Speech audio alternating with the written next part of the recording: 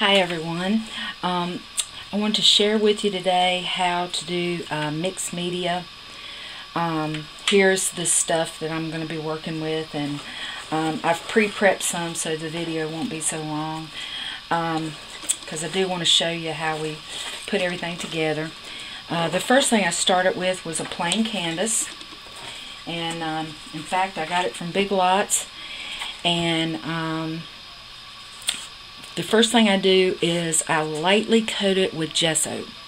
Um, and then I came back in and I mixed some of this glazing medium and acrylic yellow ochre.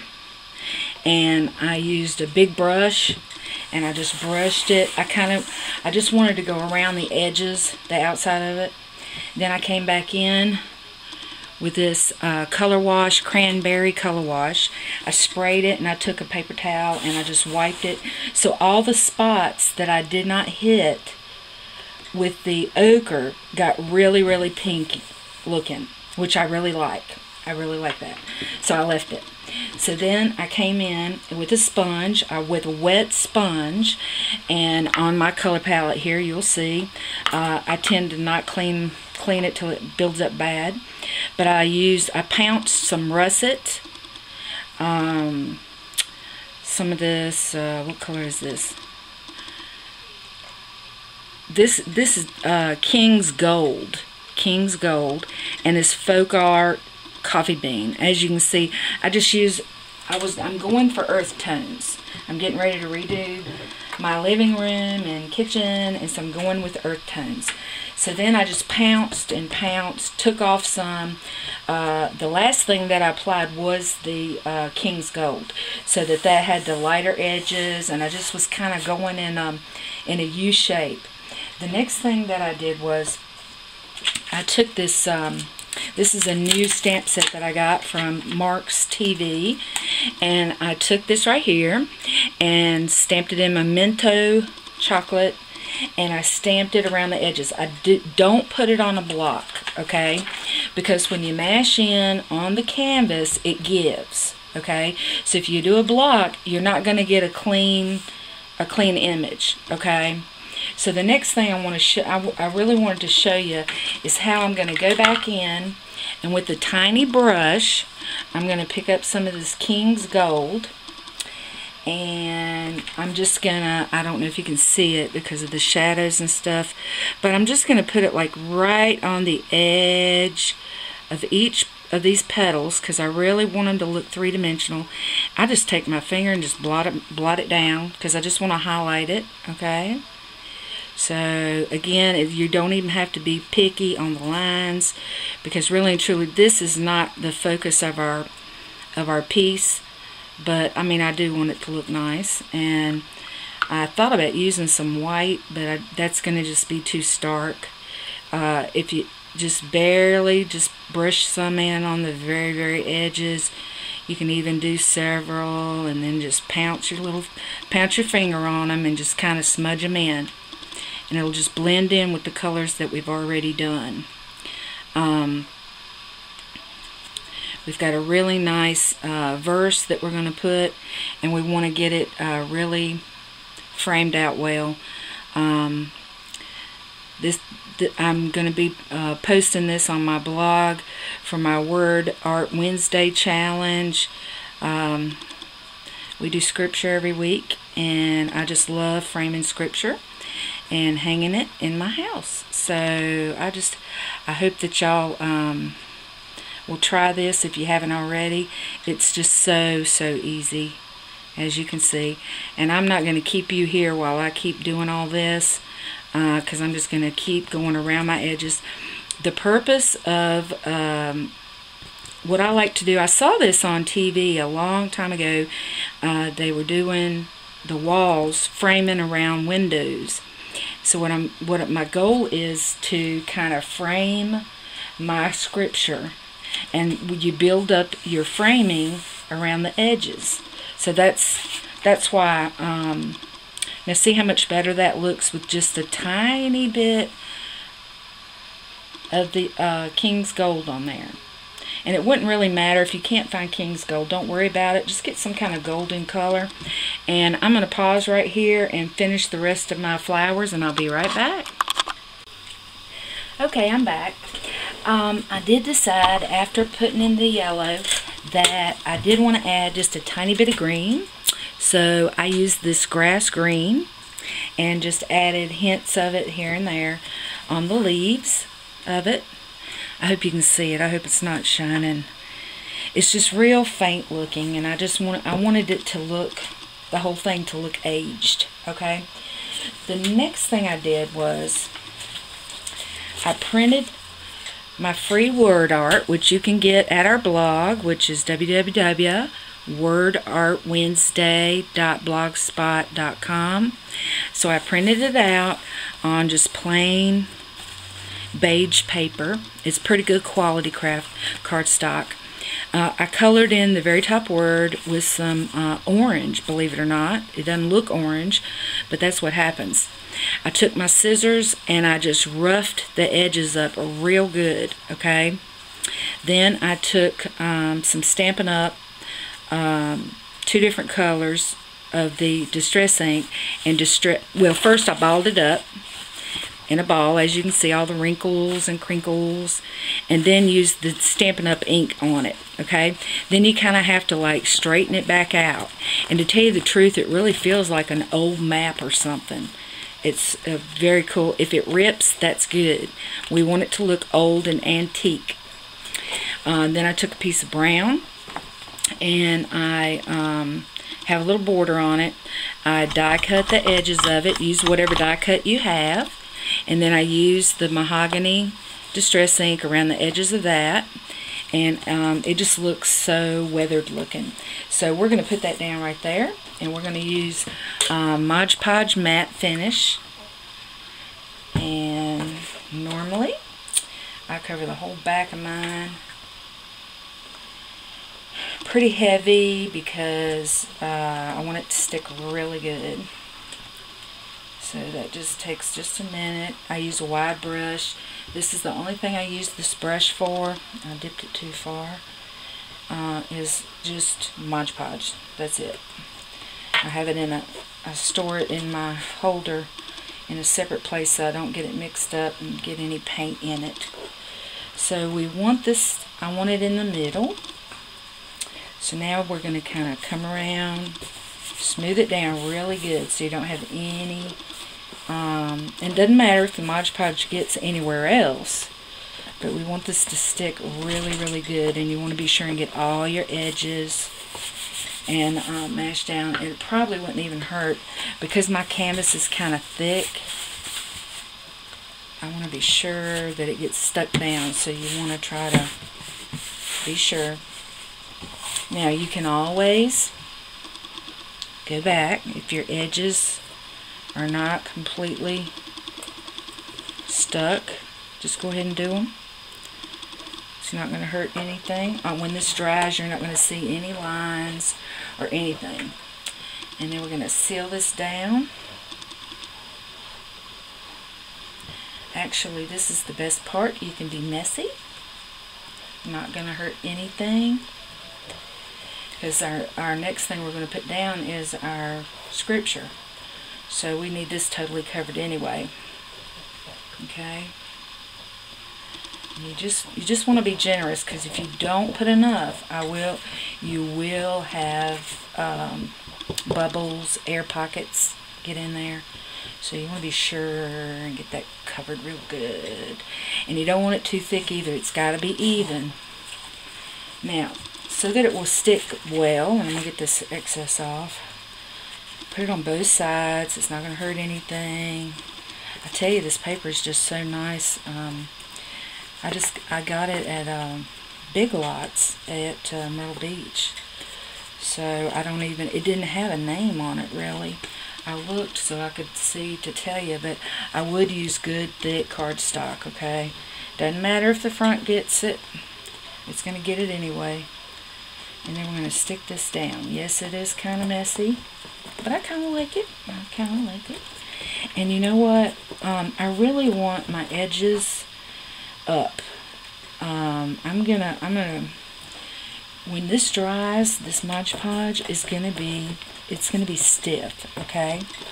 So, uh, again, rub this down good from the middle out. Get that, get that um, worked in. And then I'm gonna take this skewer, just a little bit of skewer. Well, this is almost stuck down anyway. My dog wants attention, so he is um, making noises at me. So see how that's curled up right there? I like it. I want I want that look. If you need to roll it up a little bit, just do it. That'll just get it started, and that and that's. I think it's very authentic looking, and I'm gonna leave that. This side I need down. I'm gonna put flowers on this side. Snickers, lay down, hon. Lay down. I'm busy. Okay, so now let's um, coat this with some Mod Podge. And don't forget where you stuck your uh, edges up so that uh, it stays raised and that will just dry hard. It was it won't mess up or anything. That's the great thing about this Mod Podge. And at this point, if you use matte, it's not as noticeable. Um, if you don't cover a little tiny spot, which I plan on covering the whole thing anyway. And you can go back over again. That doesn't hurt anything either. Okay? Oh, you know what I forgot to do? Oh no. I have these things from K & Company. Okay.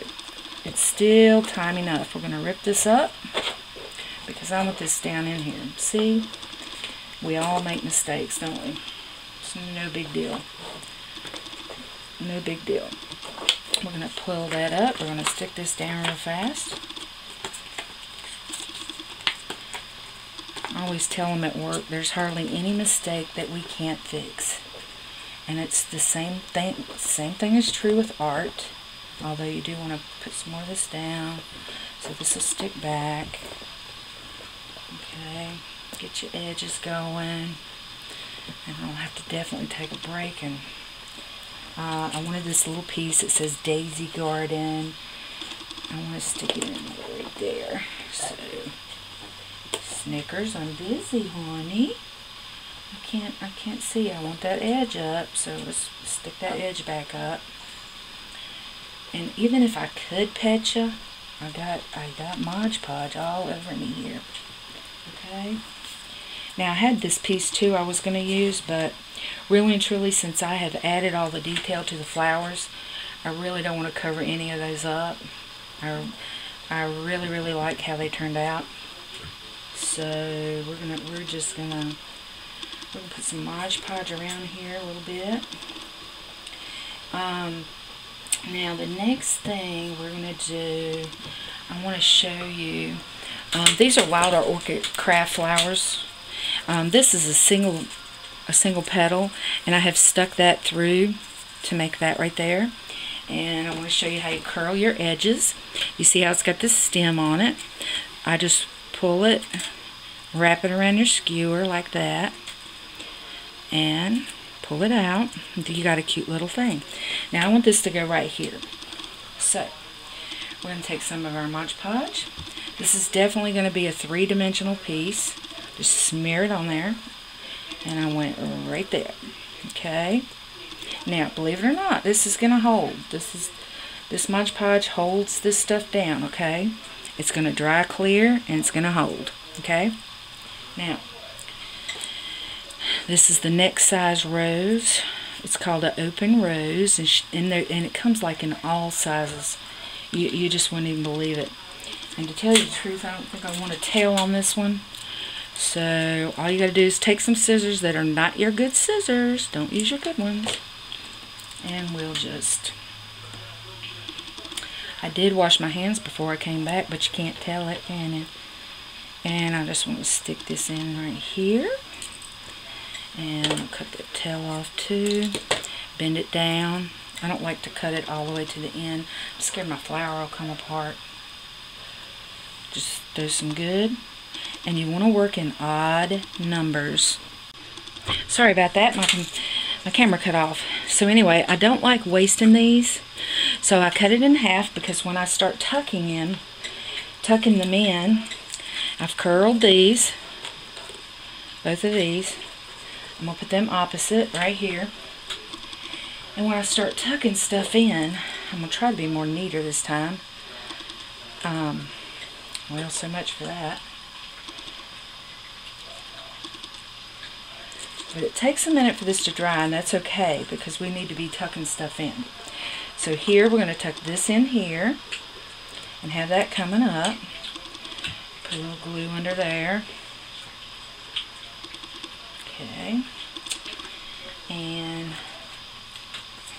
here's another I have a plain leaf right here, and they're, they're bendable because they've got these wires in them. And I've, I've doubled up this so I really like doubling this up. And I need to cut some of that stem off. So we're going to cut that off. Tuck this in right here. And as you see, I have extras. Here's another one that I just wound together. Can you see that? And you can bend these. They just they just do whatever you want. And I'm just going to stick that right there because that's already got so many of my flowers on there. Um, I, I just didn't want the video to last forever. And I want to use this one. I do need to cut that stem off of that. I don't like curling all my stems. And I want this to go like right here.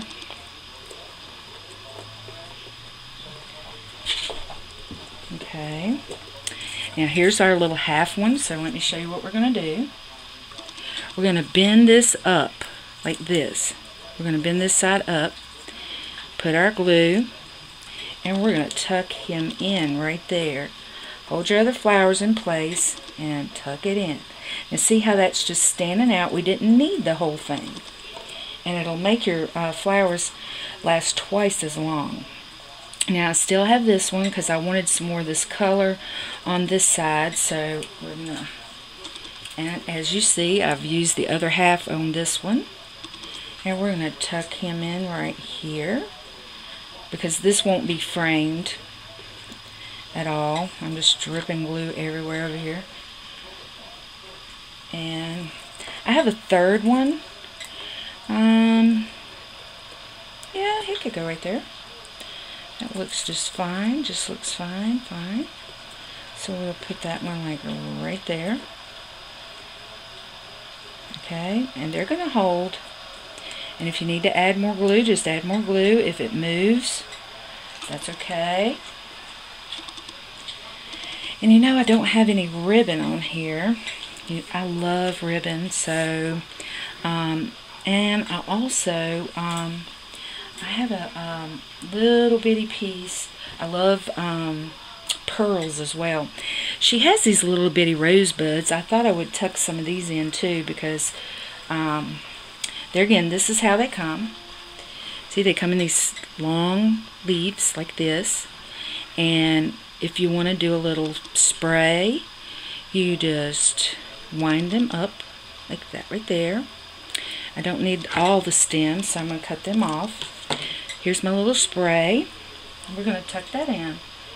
Um, sometimes, like I said, I'm not real good with placement yet. I'm still just practicing and just doing what I think looks good.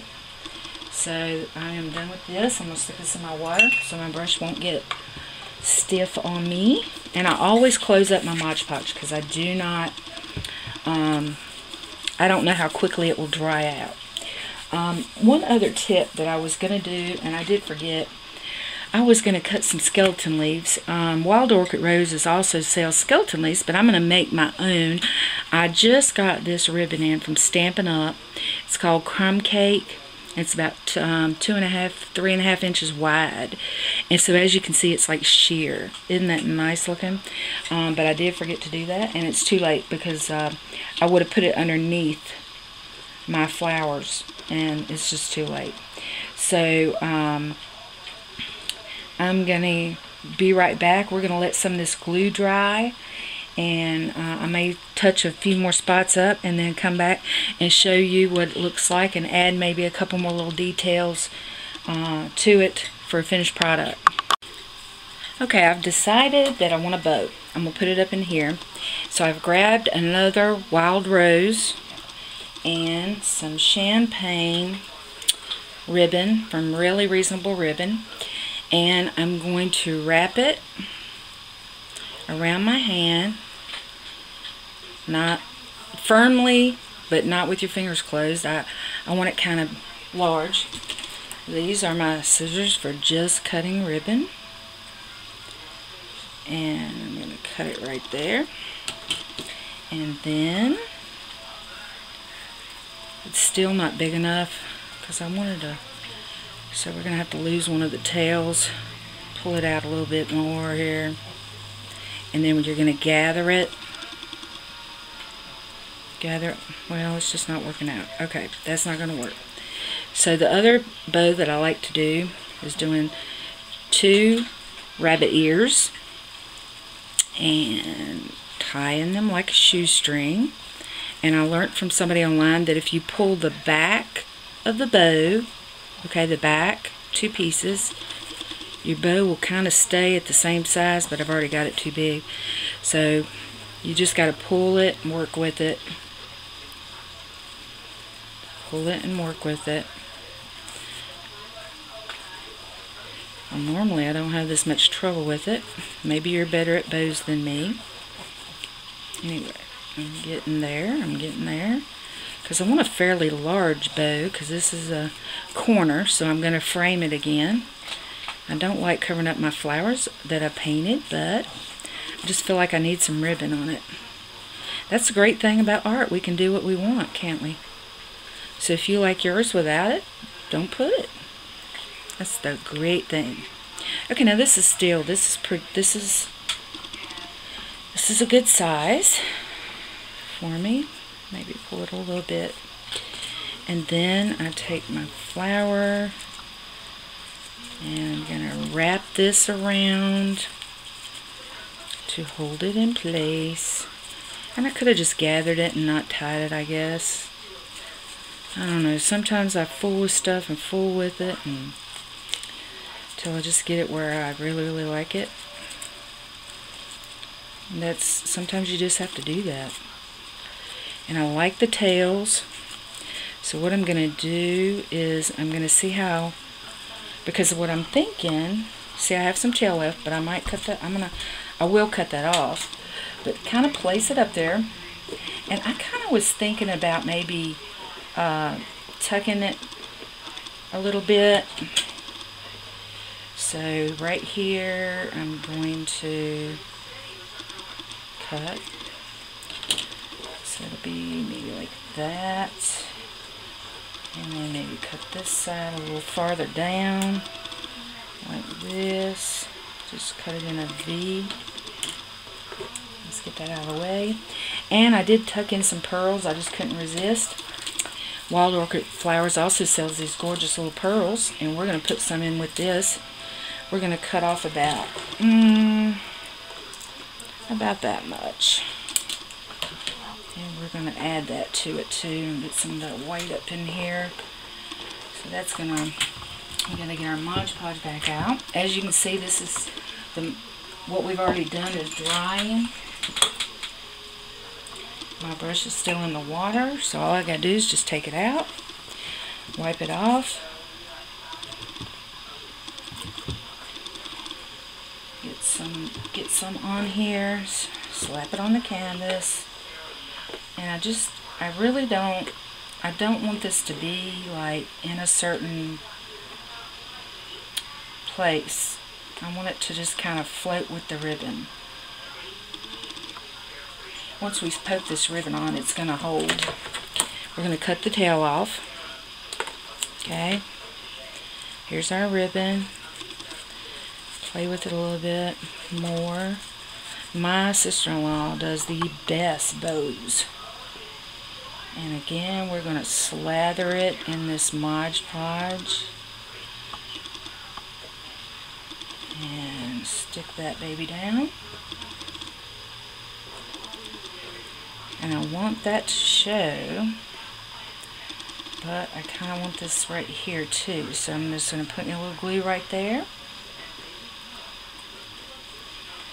And I'm going to kind of pinch it, pinch it up a little bit. Okay. And then this is going to hold right here. It's really nice.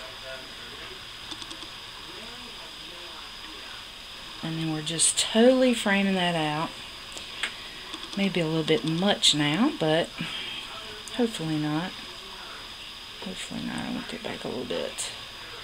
Because I, I, like the movement of the, um, the ribbon, like not being flat. I really don't want it flat.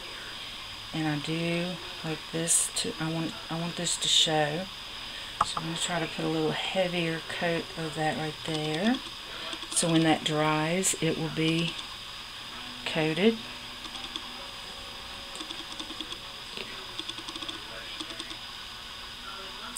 I'm just going to hold this. I'll be back when I'm finished.